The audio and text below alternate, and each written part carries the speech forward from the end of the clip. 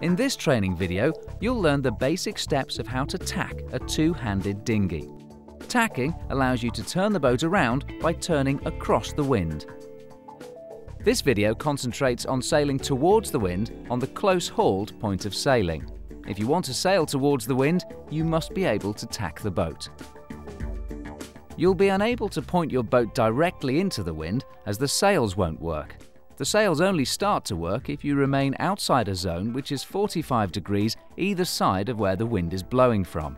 The area marked in grey is called the no-go zone, and the point of sailing you need to establish is called close hauled.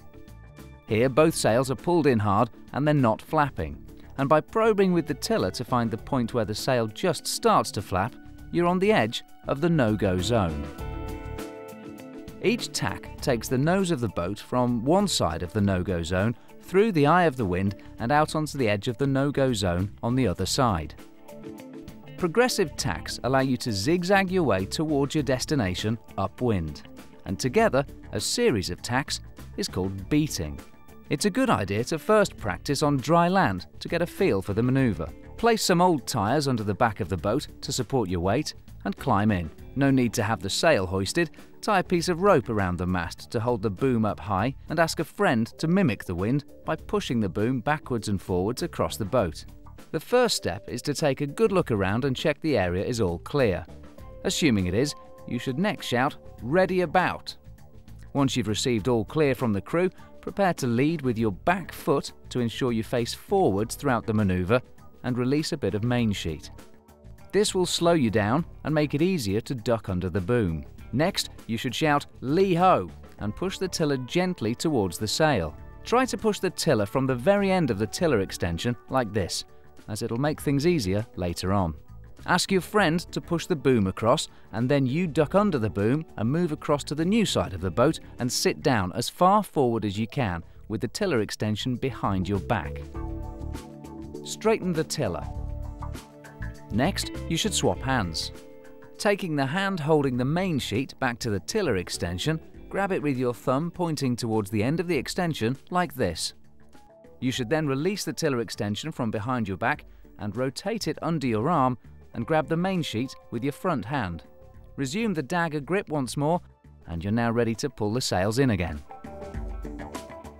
Having perfected your land drill technique, let's go afloat. Establish yourself on the close hauled point of sailing. Both sails should be pulled in tight and the front edge of the head sail is not flapping. By using the tiller gently, probe the edge of the no-go zone until you're happy you've found this point. The tiller extension is in the dagger grip in front of your body and the main sheet is in your front hand, like this. The whole manoeuvre will take you through about 90 degrees, and you'll end up sailing towards a point that's somewhere behind your back. It's worth taking a quick look to identify a new target. This will help to stop you becoming disorientated when you're moving about in the boat. The helmsman should also look to check the immediate area is clear, and if it is, then shouts, ready about. If it's not clear, then wait until it is. The crew then double checks the area and frees the jib sheet from any jam cleat and keeps hold of the rope and replies, All clear. Next, shout, Lee ho! Prepare to step across the boat, leading with your back foot. Release about one metre of main sheet to slow you down and make it easier to get under the boom. And gently push the tiller away from you towards the boom. The boat will immediately start to turn. As the boom moves across, the crew releases their sail and both of you duck under the boom and step across the boat. Don't worry if the sail flaps noisily here, this is normal. Sit down on the new side as far forward as you can and straighten the tiller from behind your back. Next, you should swap hands by taking the hand holding the main sheet to the tiller extension like this. And then let go of the tiller extension from behind your back and rotate it under your arm and position it back in front of your body. Grab the main sheet with your front hand, resuming the dagger grip once more. Pull both sails in tight once more and look for the point where the jib doesn't flap. Now you're on the end of the no-go zone once more. Let's look again, going the other way. Sailing along the close-hauled point of sailing with both sails pulled in tight, probe the rudder to find the edge of the no-go zone. Look around to identify a new target point and check that the area is clear from any obstructions and shout, ready about. The crew double checks the area is clear, frees the jib sheet from the jam cleat but keeps hold of the rope and then replies, all clear. The helmsman then prepares to step across the boat, leading with his back foot and shouts, lee ho. Releasing about one metre of main sheet, gently push the tiller towards the boom.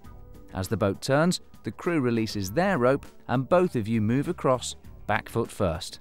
Once the boom has moved across and the boat has turned out of the no-go zone on the new side, sit down, straighten the tiller behind your back and then swap hands and resume the dagger grip once more like this.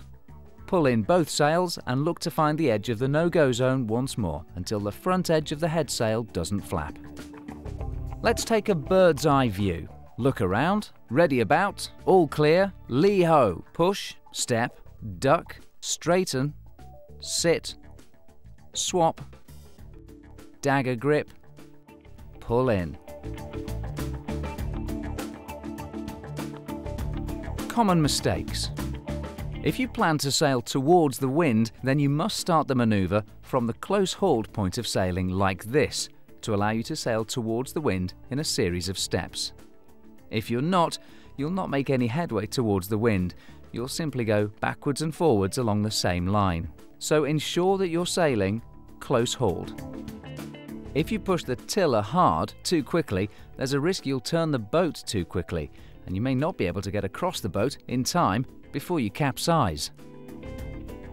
Failure to straighten the rudder after the manoeuvre will allow the boat to continue to turn, and you could well end up doing a complete 360 degree turn. Forgetting to duck, well, it hurts. You may consider wearing a hard hat, similar to a canoeist helmet. This is particularly advisable for children. Straightening the rudder too soon when you're still in the no-go zone. This will stop the boat with no drive in the sail and you'll find yourself completely stuck in irons. Watch our first sail video to see how to deal with this situation. Key learning points. Tacking allows you to turn the boat around by turning across the wind. A series of tacks is called beating and allows you to sail towards the wind. The wind has a zone about 45 degrees either side of where it's blowing from that you can't sail. This is called the no-go zone. When sailing towards the wind, you should be sailing on a close hauled point of sailing, with the sails pulled in hard and not flapping. Before tacking, you should be sailing as close as possible to the no-go zone. Small tiller movements, not large ones. Identify a new target destination before you start your tack to stop you getting disorientated. Check the area is clear from obstructions. Only tack if it is clear. Good communications between helm and crew is vital. Effective grip and hand swapping techniques with the tiller and control sheet is one of the key factors to successful tacking. Release a bit of main sheet before you tack to slow the boat down and make it easier to get under the boom. Lead with your back foot to ensure that you face forward throughout the manoeuvre.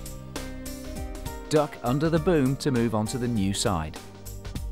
Straighten the tiller and then swap hands and resume the dagger grip once more.